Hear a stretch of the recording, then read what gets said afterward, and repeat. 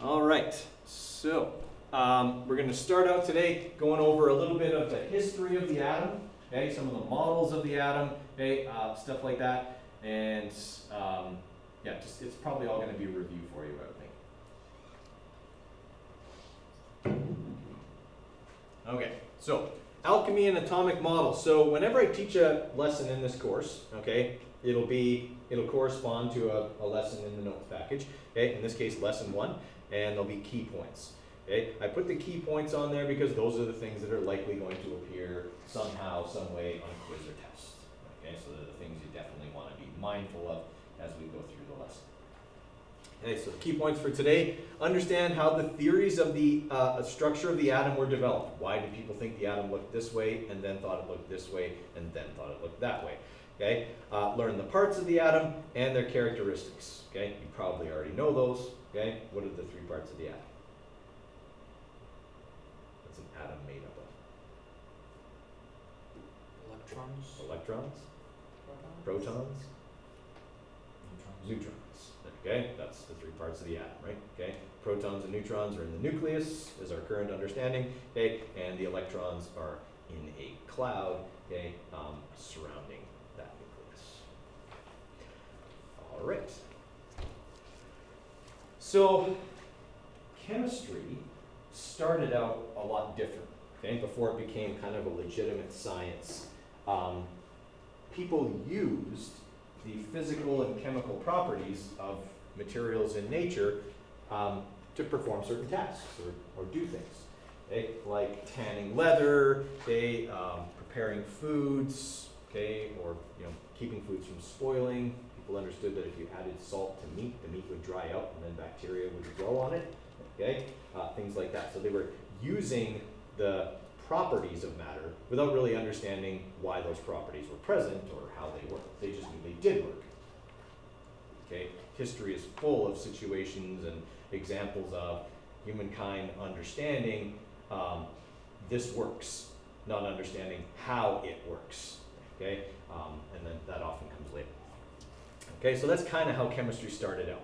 Okay? People didn't have as much time to study the whys, but knew that knew the hows. Okay? All right, so early on, okay, there were different ideas about the structure of matter. The Greeks were kind of the first true kind of academic culture okay, um, of the world that was, you know, took time to study things and kind of hypothesize how things worked and things like that. Okay? The first person to have the idea that matter might be made of atoms was a Greek philosopher named Democritus. Okay? Um, so Democritus, you know, was a contemporary of like Aristotle and, and other Greek thinkers like that. Okay, being a Greek thinker in ancient Greece was the best job you could have. Okay, all you had to do was sit in the Parthenon, and people would feed you grapes and wave palm fronds at you, and you know shaded and whatever. You just had to come up with good ideas, right? Now Democritus one day started thinking that maybe matter isn't made of three elements. Maybe matter is all made of tiny little particles that we can't see. Okay? And um, on that particular day, even though he was actually right, that idea was not well accepted. People were like, dude's been out in the sun too long. Okay? Coming up with crazy stuff today. Okay? Because everybody at that time knew that matter is made of earth, air, water, and fire. Okay? That's what everything is made of. Okay? And that idea made good sense to the ancient Greeks. So there was no way they were going to accept this idea of indivisible or invisible tiny particles that everything is made out of. That made no sense. Okay? They essentially had a periodic table of sorts for all the matter they were familiar with. Okay? So something like um, steam was some parts water, some parts fire, and some parts air, because those were the three things that had to combine to make steam. Okay, lava, okay, because in Greece there were volcanoes. Okay, lava was some parts earth, some parts fire, and some parts water, because it could flow. Okay, Th- these were things that were practical and made sense to the people of ancient Greece. Okay, um, and so it was difficult for them to accept other ideas because there wasn't any backing for those ideas. And He says, so if these particles are tiny, people are like, well, show them to me. Well, I can't, they're indivisible. Indivisible or invisible? Both. Okay? People are like, yeah, not so good, not a great idea. Okay? Wasn't all bad for Democritus. He did have some good ideas. Democracy. So it wasn't all bad. Okay. Um, now, during the Middle Ages, okay, we still don't have a, like an authentic chemistry as a science. We have alchemy. Alchemy is what you would picture like the dark room with the you know boiling little flasks and beakers and some hunched wizened old person in there, okay, you know, mixing stuff together and, and experimenting. That was alchemy. Okay? The goal of alchemy was to do a bunch of things that we now, because of our understanding of the nature of matter, we know to be impossible. Okay? They were trying to, you know, make the elixir of life or the elixir of eternity, okay, or immortality or whatever. And so they would make up these potions and well, drink this. You'll live forever. Okay, well, let's try something else. That one didn't work so well, right? Um, and so the other thing they were trying to do was turn common substances into gold. That was the really big one. Okay, I got this pile of lead. Lead's cheap. I want to turn it into gold. There's got to be some way to do that. Okay, we know logically today there's no way to do that. Okay, but at that time they knew that if I mix this thing together and this thing together, I get something totally different. Why can't I mix something with lead and turn it into this? Okay, what they didn't understand is what they were doing was causing chemical reactions. They weren't taking one element and trying to turn it into another element. You can't do that. Okay? But you can react things together and create, or not create so much, but produce something else, okay, which would be another compound or something like that. They didn't understand the difference because they didn't understand the nature of matter at that time. Okay, so it was logical for them to assume there had to be a way to do that. Okay, even though obviously now we know that that's not true. Okay, after alchemy, which was a very secretive process, okay, people discovered stuff they didn't share it with anybody else. Um, Roger Bacon and Antoine Lavoisier kind of took alchemy and they turned it into something better. Okay, they turned it into chemistry using the scientific method, which involves not just trial and error. Okay, alchemy was a lot of just trial and error. Okay, the scientific method says here's a problem that needs to be solved.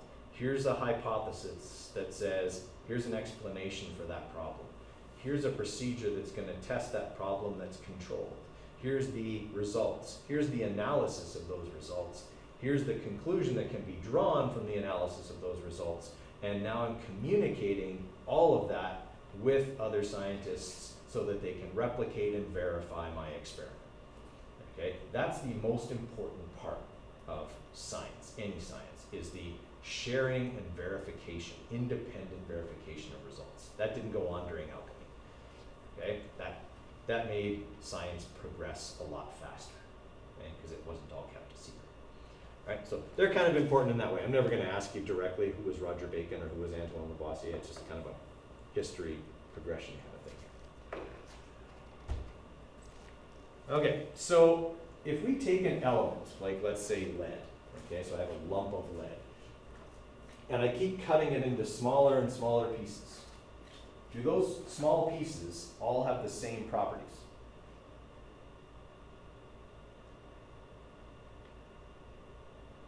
So I have a chunk of lead, it's all lead, and I cut it in half. The two halves have the same properties as the single chunk, other than size. Because they're both made of. If I keep cutting that smaller and smaller and smaller, all those small pieces are still lead. They all still have all the same properties. They have the same density, the same um, atomic mass. They have the same melting point, boiling point, all of those things, because they're all made of lead, no matter how small I cut it. Okay? Now, not that it's possible, but let's say I could cut it down until I couldn't cut it any smaller. I'd have atoms. I couldn't see them, but let's say I could do that. Okay? would all of those atoms also be lead atoms? They would. And they would all have the same properties. Okay? I can't turn lead into something else. It's an element. Okay? It can't become more simple than that and retain the properties of lead. Now, can I split an atom? Under the right conditions, can atoms be split? Yeah, not, not like, I can't take a knife and split the atom while I'm like chopping carrots, okay, like luckily that's not something that can happen. The sharp edge of your knife is millions of atoms thick, okay, you don't have to worry about ever having that problem, okay? But if I could just split an atom, okay, would now the properties of the two parts be different? They would, okay? If I take an atom of lead and I manage to split it, I no longer have lead, I now have two particles that have a different number of protons, different number of neutrons, different number of electrons, okay? And that's what happens in nuclear processes, okay? We change what we have, okay, at a physical level. Okay, so the big thing from this is that an atom, okay, is a particle, okay, it's the smallest particle of an element that retains the properties of that element. Okay? The properties of an element are due to the number of protons that element has in its nucleus. If that gets changed, it's no longer that element. Okay, and it's the protons only. The number of neutrons can change, the number of electrons can change. It's the number of protons that determines the properties of that element.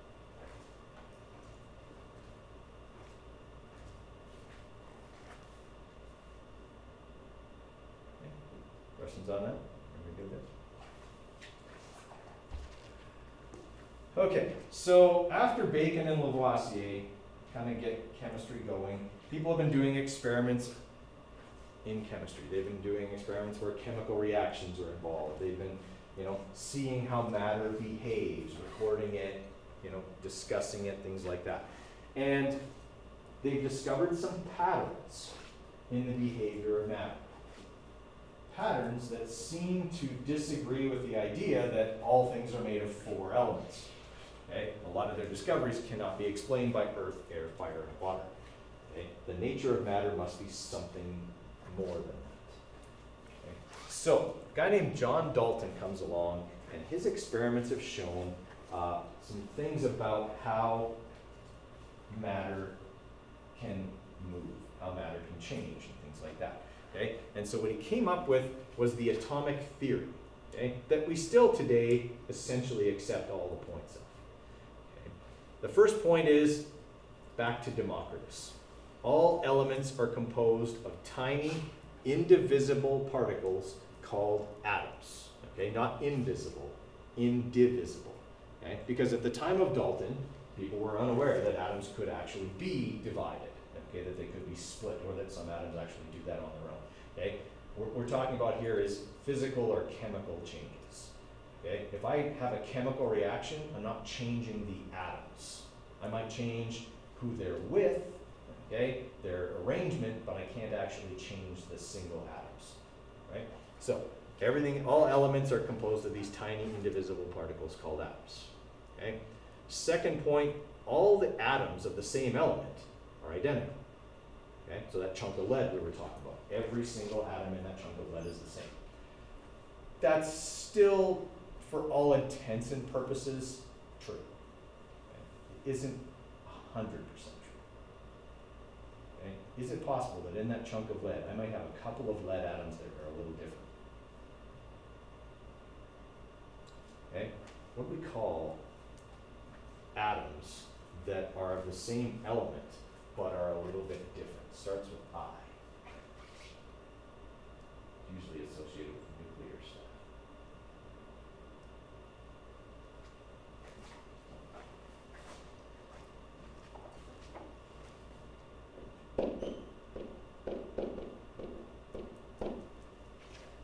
Anyone heard of that term before? Isotopes? Okay. An isotope is an element of an atom that has a different number of neutrons than the rest of the atoms. Okay, so how many people have heard of carbon dating? The process they use to determine how old things are. Okay, or radiometric dating. Okay, well what they do with that is they know that in something that's newly produced, there's a certain ratio of normal carbon atoms to carbon fourteen atoms. Most carbon atoms have six protons, six neutrons, and six electrons. But there's a small number of carbon atoms in any amount of carbon that have six protons, eight neutrons, and six electrons. They're bigger, and they're less stable, and they break down. Okay? So the age of something can be determined by looking at how much carbon-14 is in this old thing compared to something that's new, and how much of the material breaks down into. Okay, all things have isotopes. Okay, so while this is still effectively true, okay, isotopes are a bit of an exception. Okay, third point, atoms of different elements can combine with one another in simple whole number ratios to form compounds. Okay, so the important part of point number three is that this whole number ratio part. You never have parts of an atom in a reaction. Okay, so if let's say I was looking at a reaction like this. That's weird.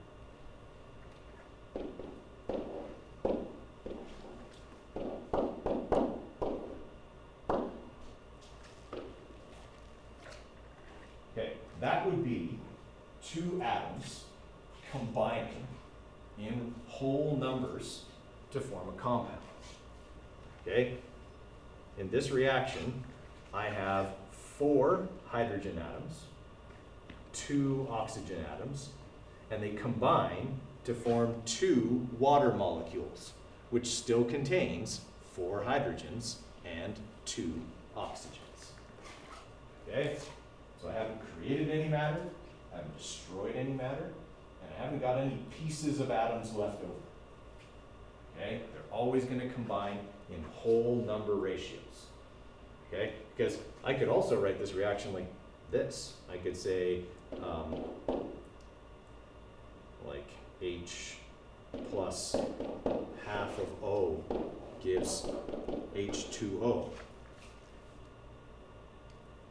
Can I have half an oxygen atom?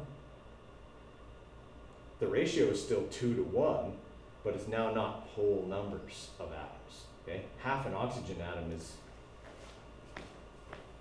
beryllium. Okay, it's not the same thing. Okay, so you're never going to have fractions when you're talking about atoms. Okay, that's what point number three is basically talking about. Okay, and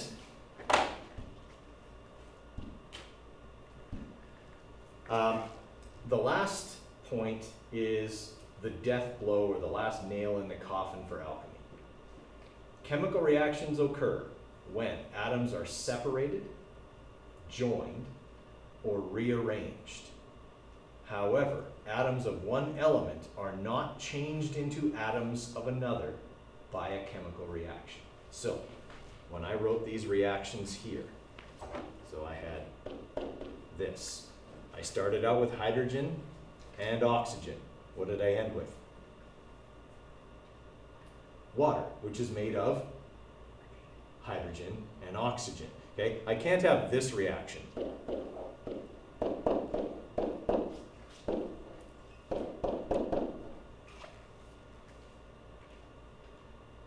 Okay, I can't say I'll mix sodium and chlorine together and that'll make gold. Okay, that's turning elements into a different element. I can't have that. I could have this.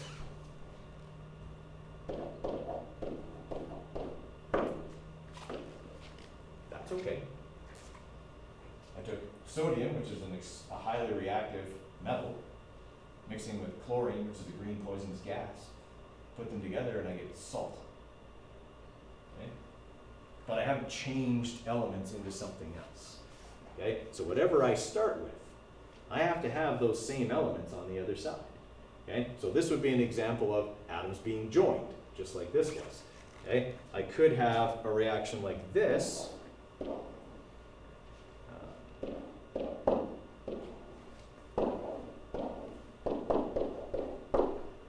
that would be atoms being separated, a compound breaking down into its two elements. Okay? Or I could have a reaction like this.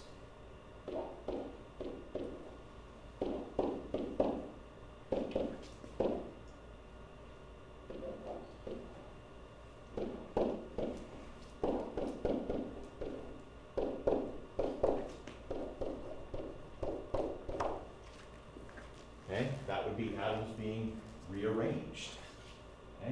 both sides of the reaction, I have the same elements. I haven't created any new elements. I've made new materials, but they're still made of the stuff I started with. Okay, does everyone kind of follow me there? Alchemy thought they could do something else. Okay, they thought they could take these things and make new elements on the other side. You can't do that. And chemical reaction doesn't work that way. Alright? So, would the four points of Dalton's atomic theory be something that might be important for you to know? Definitely. Put a star around that, circle it, whatever. Okay, that's prime multiple choice question kind of territory on a unit exam. Okay, certainly it's quiz worthy. Okay. Putting, being able to put them in your own words, okay, would probably be something that'd be important. Okay, so we still believe that these four points govern the behavior of matter in the physical world.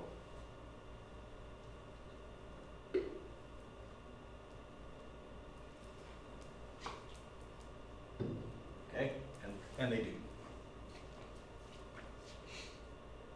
So Dalton comes up with this theory. It's very unifying. It's a big deal. Like chemists everywhere are totally on board with these ideas because these ideas are supported by their experiments. Okay? They've seen matter do exactly these things. They've never seen it do anything else. But the next natural question posed to Dalton is, okay, great. What do these atoms look like?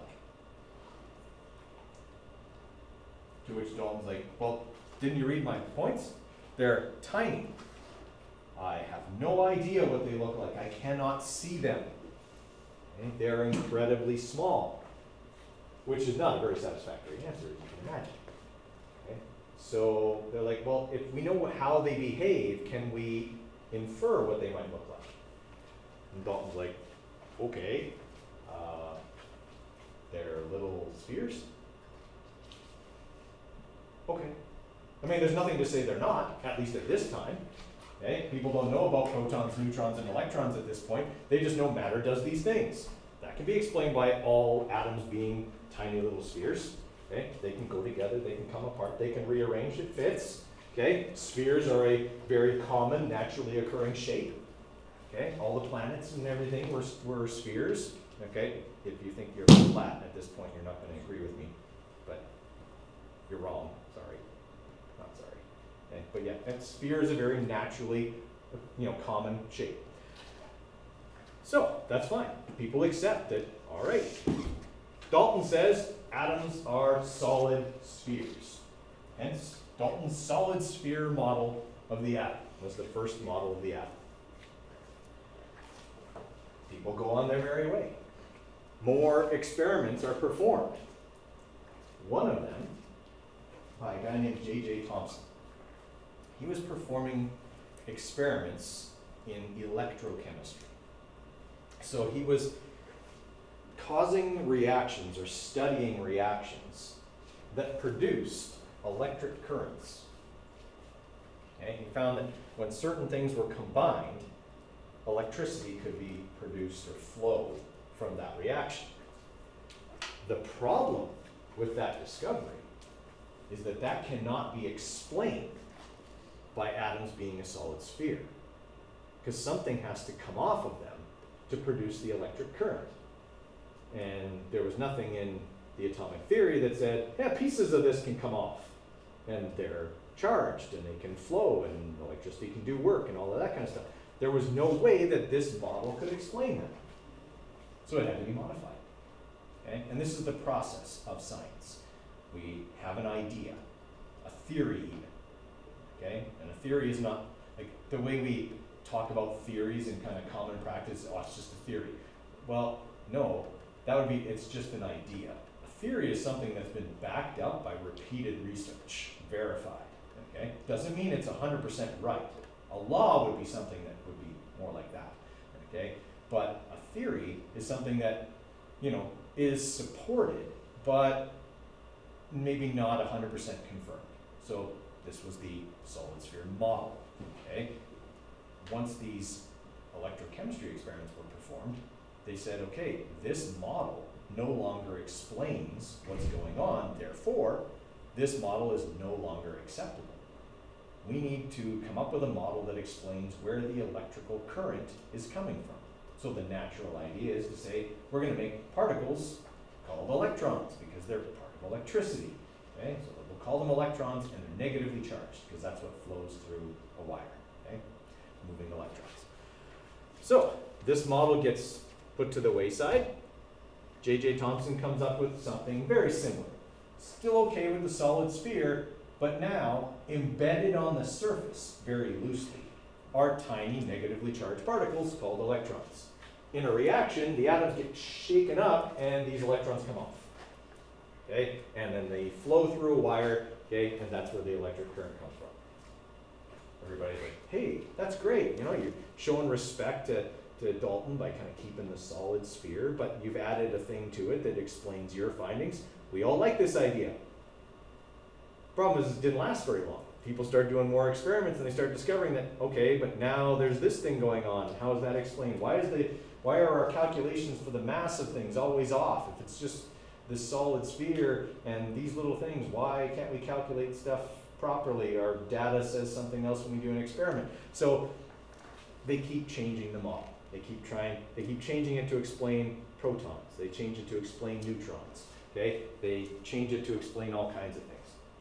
And it comes to a point where there's a whole bunch of models out there. Okay? And they all are okay. None of them are great. None of them are unifying like the solid sphere was when it first came out. Okay? So, there's stuff like this. There's stuff like this. People are not sure. Okay? Um, so more and more experiments and there's kind of this period of time where people aren't sure. People don't know what's going on. Okay? Um, so a guy named uh, Chadwick comes along. He discovers protons, or pro, he already knows about protons. He discovers neutrons. That helps with some of the calculations, okay, for mass and stuff like that. So now we know, all right, the atom is made of three parts, but no one knows the arrangement of these three parts. Okay, they know electrons are small and essentially massless because when a current runs through a wire, you don't see a big change in mass. Okay, um, so we know the bulk of the mass is in the protons and the neutrons, but nobody's sure where everything is. Okay, some people like this solid idea still. Some people like this idea of a nucleus. Okay, but nobody can prove either one because atoms are tiny and nobody can see them. So a lot of experimentation goes on to find out what does the atom actually look like. Okay? And to this day, we haven't really resolved atoms visually to the point where we can see them. Okay? But we have experiments that have told us this is what they likely appear to be. Okay? And the person who came up with that was Ernest Rutherford. Ernest Rutherford performed an experiment that at the time was like revolutionary and not at all what he expected. Okay? He was trying to prove the shape of an atom. And what he did is he did an experiment where he had essentially like an X-ray machine. Okay, so a source of alpha particles, essentially neutrons. Okay, he was going to shoot them out at a piece of gold foil. So you guys know what like tin foil is like, right? Like the consistency of tin foil. So imagine you have something like that, but it's made of gold and it's more like a Kleenex in terms of like how thick it would be. Okay, so he's got this really thin piece of gold foil. It's only a few atoms thick. Okay, and he's going to shoot neutrons at it. Now, his idea is if atoms are solid spheres, almost none of these particles are going to get through. They're all going to bounce back. But if atoms are made of a central dense nucleus, and electrons, which are tiny, orbit this nucleus, then some of these neutrons will get through. Okay? In fact, he thought all of them would essentially get through. He thought atom, the nucleus of an atom was that small. Right? So he set up this experiment, and around the gold foil, he put what is essentially like photographic film. Okay, now I understand there's a bit of a generation gap here. You guys have probably never used a camera that has film in it. Okay? Cameras used to have this stuff called film in it. Okay? And when you would expose it to the light, it would change color. And that's how you made the how you made the image. Okay? So you essentially put that around this gold foil. Anywhere where a neutron would hit it, it would be like when you get an X-ray. that part of the film would change color. Okay? His prediction was he was just going to get a spot behind. Everything was going to get through. When he performed the experiment, this is the result he got. Some of the atoms didn't get through. They were deflected. They got through, but their path was changed. Some of them bounced back, okay, which was shocking to him. He said that's like shooting like an artillery shell at a piece of paper and having it bounce back. Okay, like that's how that's how he explained it. So atoms have a central dense nucleus.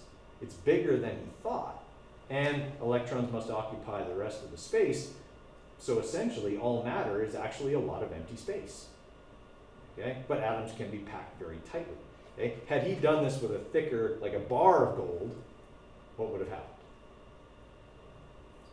Yeah, they all would have bounced back, right? It's too many atoms, right? They're packed in there really, really dense. The key to this was that the foil was really, really thin. Okay, and so it was only, as we see in this diagram here, a few atoms thick. So there was enough space for some of those particles to get through. Okay, but some of them would encounter the nucleus of one of those atoms and be deflected.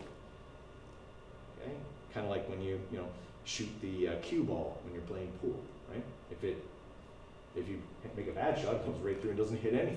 Okay? If you were trying to hit something straight on and you just got a piece of it, it deflects it off in another direction. Okay? So that's kind of what happened there. Okay? That was the explanation for his results. So it was a groundbreaking experiment because it proved the nuclear model of the atom. Okay? All atoms have a nucleus. Surprisingly, that didn't settle a lot of arguments. Okay? It actually settled the okay, protons and neutrons are in the nucleus, but now what are the electrons doing? Everybody wanted to know what the electrons were doing, which was also next to impossible because you, can't see atoms. How are you going to see electrons? They're even smaller. Okay? Uh, so more experiments were done, okay, and people came up with lots of different ideas about okay, we're all good with the nucleus. Here's what the electrons are doing. No, here's what the electrons are doing. No, here's what the electrons are doing. Okay, and while we still accept some of them, there's kind of one that's better than the others. Okay? All right. Um, so, if we were to take a picture of an atom, if we could do that and freeze it in time, it would probably look like Bohr's model or the planetary model. Electrons orbiting the nucleus. That's what it would look like because they, would be frozen in time. Okay? Um, we still often draw atoms like Bohr, okay, like this. But what Bohr didn't realize is that electrons don't stay in these places. There are places where you can find an electron, not an orbit, but what we call an orbital. Okay? And that's a region where there's a high statistical probability of finding an electron, but it's not a perfect circle. And electrons can leave one orbital and go to another when they gain energy. When they lose energy, they'll fall back to lower orbitals. Okay? Um, and so Bohr didn't really know that when he was coming up with his model. Okay? So we kind of accept Bohr, but we really accept more de Broglie's electron cloud. Okay? That kind of accounts for this bouncing around of electrons, okay? which we'll talk more about on Friday. I'm going to leave it at that. Okay? Um, so for Friday, okay, um, if you guys can decide how you want to do your notes, okay? If you're going to have them on paper, have them on paper, come with, with that. Okay, if you're just going to use your phone or you're going to use a tablet or a laptop, I'm okay with that as well. Okay, um, just kind of have that figured out for Friday. Okay, remember in the next couple of weeks, you need to uh, acquire a scientific calculator of some type. Okay. Questions from you guys? All right, we'll leave it there. We've got about uh, three minutes or so until the bell goes here.